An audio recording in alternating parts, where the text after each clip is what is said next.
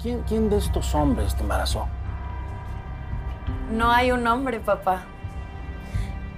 Yo siempre había soñado con ser mamá, con formar mi propia familia. Y después de que Sebastián me dejó, sentía que el mundo se me venía encima. Pero Ricardo dijo algo que me dejó pensando. No necesito un hombre para ser madre. Así que decidí hacerme una fecundación in vitro. Hola Maya. He tratado de hablar contigo, pero desde ayer has estado evitándome. No, no te he evitado. Es que preferí salir a comer y tomar aire en mi hora de comida. ¿Qué pasó? Maya, me gustaría hablar sobre lo que pasó el sábado. No pasó nada. Me da gusto que Leslie y tú estén saliendo. Pero a mí no. Hice mal en aceptar ir al teatro con ella. A mí solo Leslie me cae bien, pero no me interesa.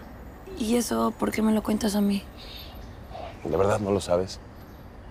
¿No te has dado cuenta que desde que te conocí me enamoré de ti? No, Ricardo, yo no puedo tener una relación contigo. Yo ya tomé mis decisiones. ¿Por qué me rechazas? No es eso. Es que por el momento tengo otros planes. Ok. Ricardo, el sábado mis papás van a hacer una cena para celebrar su aniversario. ¿Te espero en mi casa?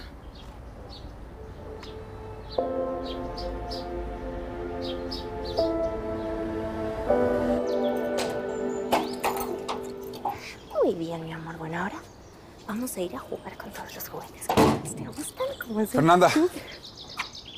Cuñada, ¿Qué haces aquí, Sebastián? vengo a pedirte ayuda.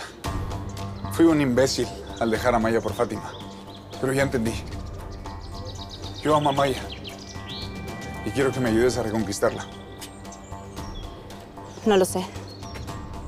¿Por qué te ayudaría después de lo que le hiciste a mi hermana? Porque tú sabes que nos amamos.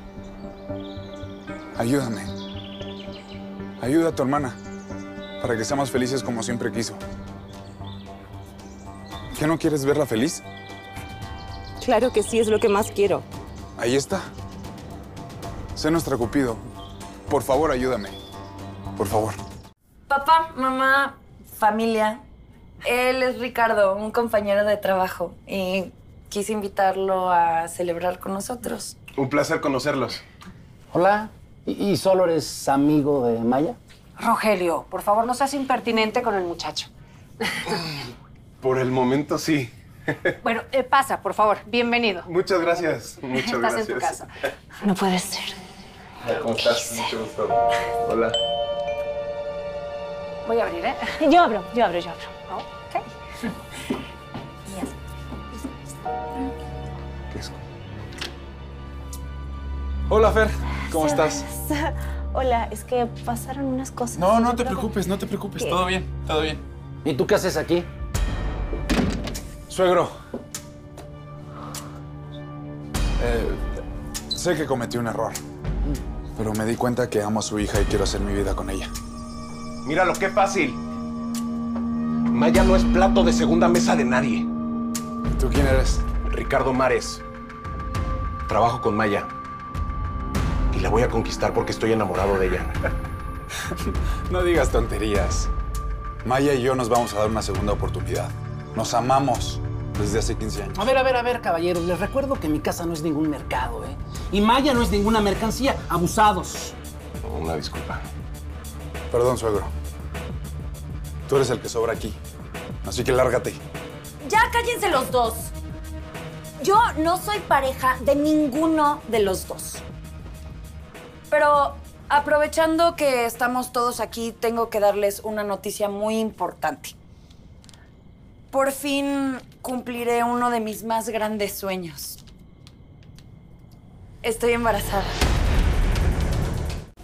¿Estás embarazada de este imbécil?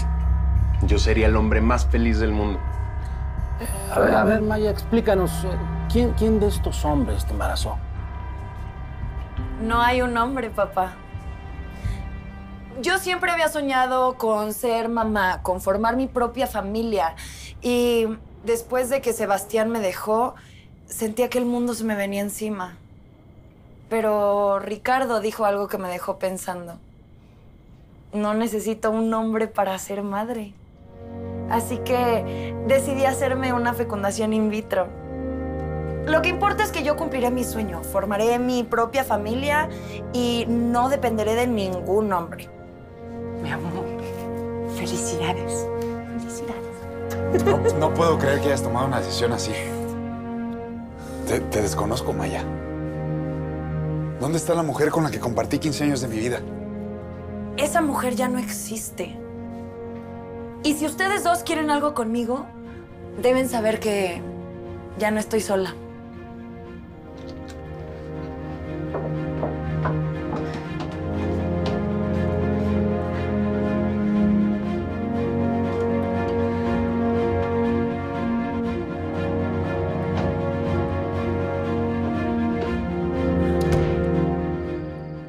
¿Hijo? Ya llegué, ma. Hola. Ven acá. ¿Cómo te fue en la cena con la familia de la muchacha que te gusta? No lo sé, ma.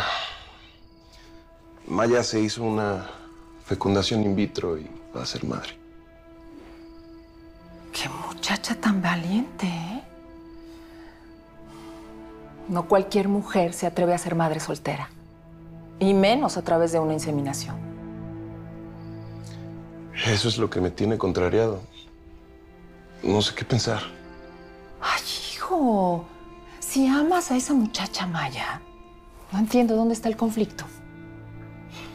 Conquístala y acéptala con su criatura. Yo soy de la idea que padre es el que cría, ama y cuida, no el que engendra.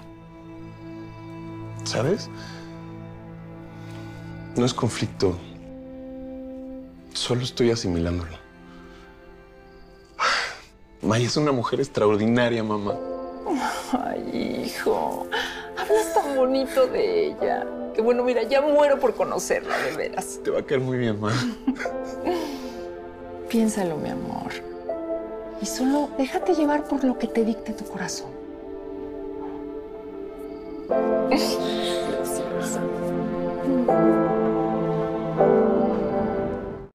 Gracias por aceptar hablar conmigo y discúlpame por cómo me comporté en tu casa. Fui un reverendo idiota.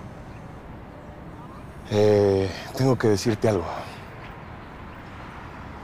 Yo quiero conquistarte y ganarme tu corazón, enamorarte y vivir contigo este proceso tan importante. ¿Estás consciente que tendré un hijo de otro hombre? Estoy consciente que este hijo es el regalo que tanto has esperado y eso me alegra. Eres muy valiente. Dame una oportunidad. ¿O no sientes nada por mí? No lo sé, no sé qué siento, estoy confundida.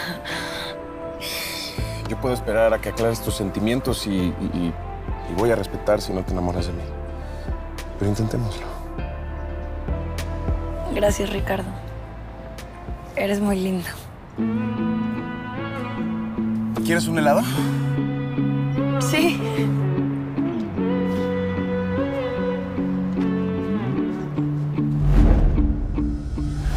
Preciosa, yo sé que todo ha pasado muy rápido.